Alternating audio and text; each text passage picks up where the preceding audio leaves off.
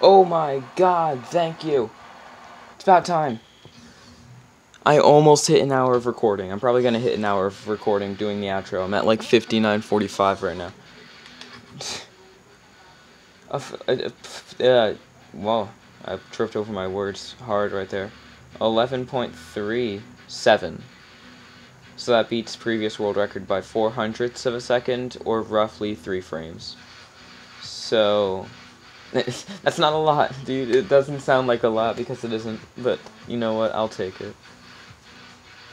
I'll take it.